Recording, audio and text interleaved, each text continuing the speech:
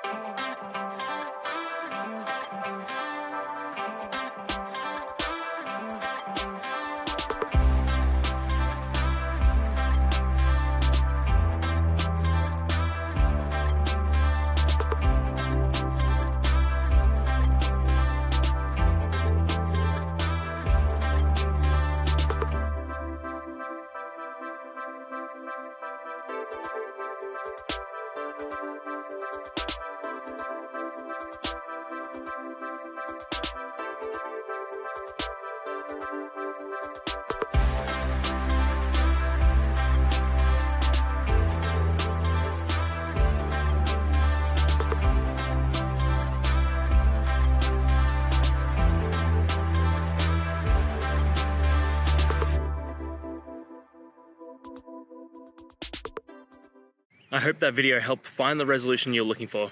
If it did, guys, I'd appreciate it if you could hit subscribe. Until the next time that you need more technical help, I hope you have a good one. Cheers.